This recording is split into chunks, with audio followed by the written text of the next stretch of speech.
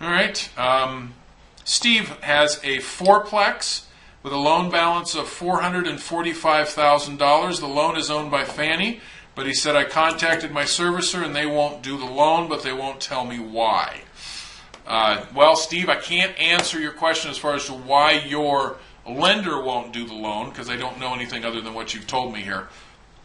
Uh, I will tell you this: that the four, some people might initially think it's the 445 loan amount, but fourplexes have available loans under Fannie Mae guidelines uh, just a little above $801,000. So you're okay on the loan amount. Uh, go back and check, see, make sure that loan was owned by Fannie prior to June 1st, 2009. Uh, it, you may have done the loan earlier than that, but maybe Fannie Mae didn't come into possession with it until after that. Other than that, uh, just think back. Did you do a HARP loan on this before? Because you can only do one HARP loan. Uh, you, there are other things you could have done. You might have had a modification, other things.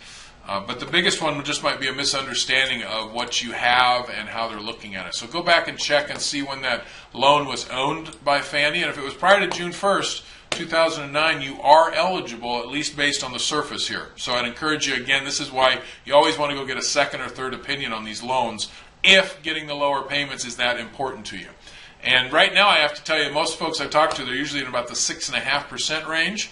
And even like on a property like this with a fourplex, the way they have the pricing set on these, you're still looking at interest rates in the mid fours, around 4.5%.